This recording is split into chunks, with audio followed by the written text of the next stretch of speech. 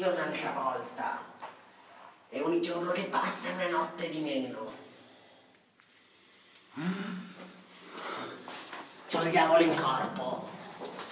Ti ammazzo! Ti ammazzo! Ti ammazzo!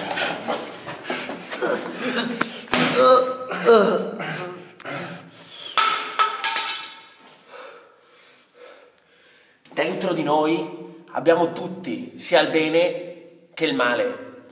Per far prevalere il bene dobbiamo coltivare i valori.